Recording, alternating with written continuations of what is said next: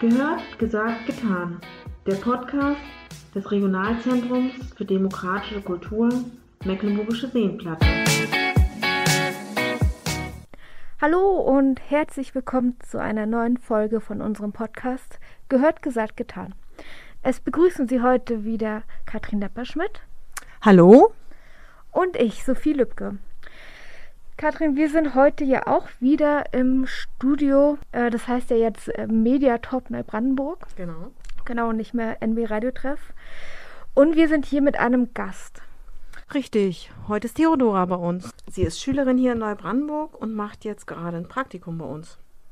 Und da wir im Regionalzentrum ja immer auch äh, an den Bedarfen von Kindern und Jugendlichen interessiert sind, war es spannend, auch mal in den letzten zwei Wochen mehr Einblicke in diese Lebenswelt von Jugendlichen zu bekommen. Ja, genau, das stimmt. Einfach mal zuhören, was Jugendliche so beschäftigt, was ihre Themen sind und so. Und da haben wir uns dann gedacht und überlegt, das könnte ja auch für Sie, liebe Hörerinnen und Hörer, interessant sein. Also, was wir richtig spannend fanden, sind ja auch so die Medien und Plattformen, auf denen sich Kinder und Jugendliche bewegen. Und deshalb haben wir uns schon mal in Sachen TikTok weiterbilden lassen. Mhm. Vielleicht äh, wird das sogar mal ein neues Medium zur Präsentation unserer Themen und Angebote für die Zielgruppe auf TikTok, oder Sophie? Ja, also wer weiß, es war auf jeden Fall total spannend, da ein paar Einblicke zu bekommen von Theodora. Aber wir wollen ja jetzt auch nicht länger über sie reden, sondern mit dir. Hallo Theodora. Hallo, äh, schön, dass ich hier sein darf. Wir freuen uns auch, dass du hier bist. Ähm, vielleicht magst du dich noch mal kurz vorstellen, Theodora.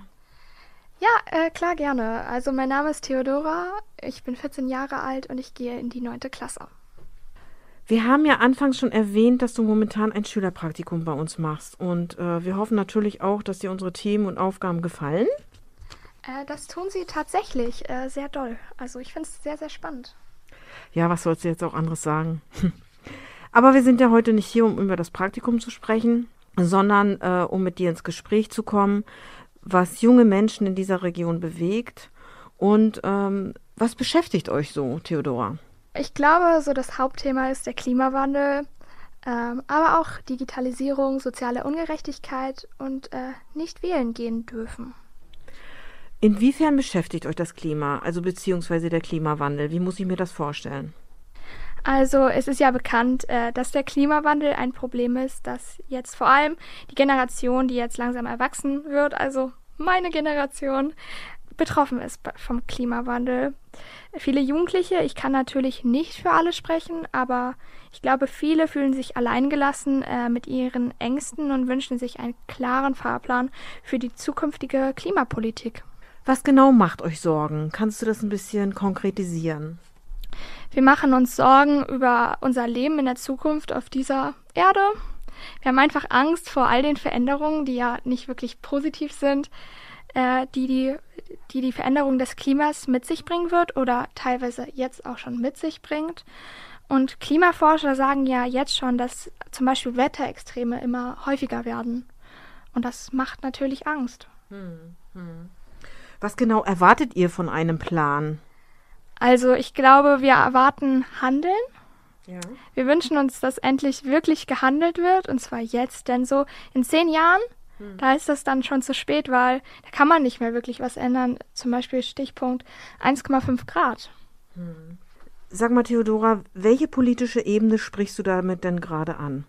Weil ähm, Bundesregierung, Landesregierung, einzelne Stadtvertretungen, Kommune, jeder hat ja seinen eigenen Wirkungskreis, wie zum Beispiel äh, gibt es ja Kom Kommunen, die schon Klimaschutzkonzepte auf den Weg gebracht haben oder die sogar auch schon Klimamanager auf den Weg gebracht haben. Was genau meinst du? Ich meine eigentlich jede Ebene, weil jede Ebene soll in ihrem Rahmen einen Beitrag leisten für den größeren Klimaschutz, weil das mhm. der Klimawandel sucht sich ja nicht einzelne Ebenen aus, sondern ist ein größeres Problem, was uns ja alle betrifft und dadurch auch jede einzelne politische Ebene. Du erwähntest vorhin noch die Digitalisierung. Kannst du dazu noch näher was erläutern? Ja, klar. Äh, ich glaube, es hat sich durch Corona gezeigt, wie unterschiedlich weit die Schulen digitalisiert äh, sind. Das hat das Lernen von zu Hause für einige SchülerInnen schwer und teilweise fast unmöglich gemacht, weil sie zum Beispiel kein technisches Endgerät zu Hause hatten, weil sie sich einfach nicht leisten können. Mhm. Und das war aufgefallen und hoffentlich gibt es da einfach bald eine Möglichkeit, dass alle Schulen digitalisiert werden und dass dann alles funktioniert, falls eine weitere Zeit des Homeschoolings äh, auf uns zukommt. Was genau braucht Schule denn dann nach deiner Meinung oder nach der Meinung auch der anderen Jugendlichen? Ich glaube, wir brauchen geschulte Lehrkräfte, die wissen, wie man mit, End also mit technischen Geräten umgeht ja. äh, und mit Softwares. Mhm.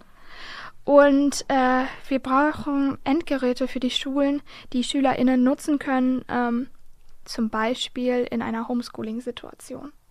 Also geht es nicht um digitalen Unterricht im Klassenraum mit Whiteboard zum Beispiel?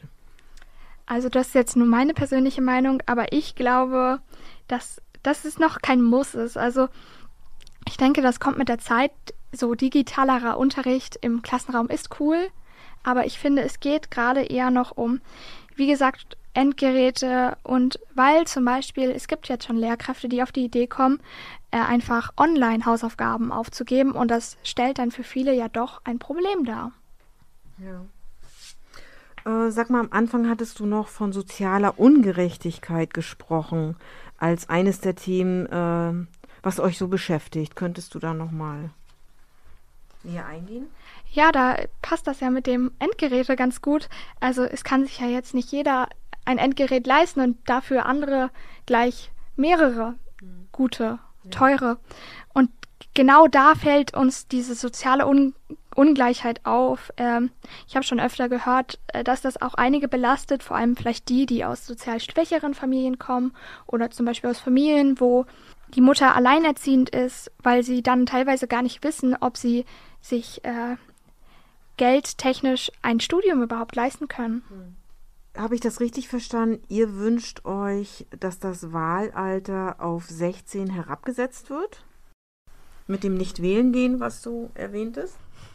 Ja, auf jeden Fall.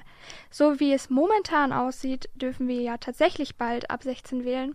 Aber auch schon bevor es ein großes politisches Thema war, habe ich schon von vielen gehört, dass das ein dringender Wunsch ist, weil viele haben jetzt auch schon im Alter von 14 bis 17, 18 eine eigene politische Meinung. Klar, nicht alle, aber viele und die haben natürlich dann auch den Wunsch, über ihre Zukunft mitzuentscheiden. Mhm. Aber es gibt ja auch schon andere Möglichkeiten mitzuentscheiden oder mit Politikerinnen ins Gespräch zu kommen. Wisst ihr, dass es diese Möglichkeiten gibt? Habt ihr davon schon mal was gehört? Also ich persönlich jetzt nicht. Also ich weiß nicht, wie das bei anderen Jugendlichen ist, aber ich gehe stark davon aus, dass das nicht wirklich ein Ding ist, von dem Jugendliche wissen, dass es dort Möglichkeiten gibt. Was gibt es da denn für Möglichkeiten?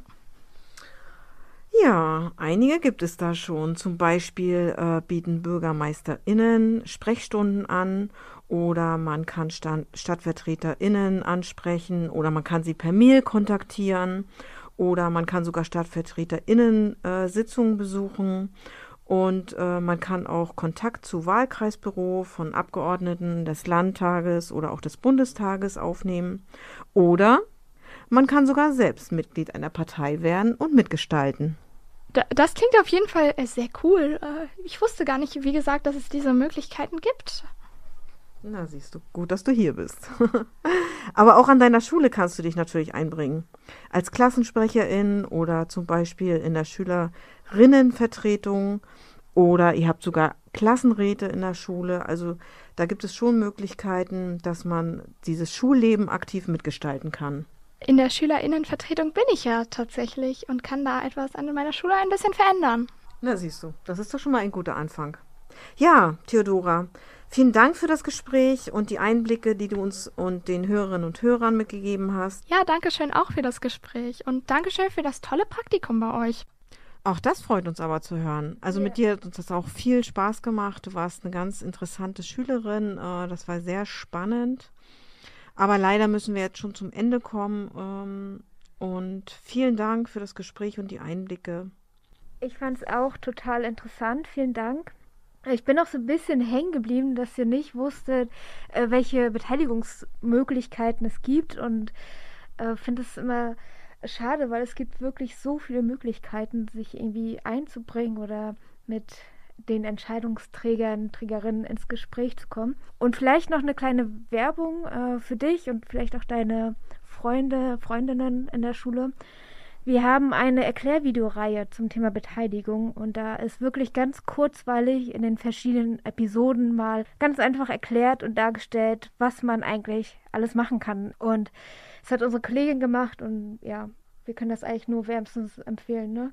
Aber auch natürlich für Sie, liebe Hörerinnen und Hörer, wenn Sie daran Interesse haben, das alles finden Sie, findet ihr auf unserer Webseite unter www.cjd-rz.de.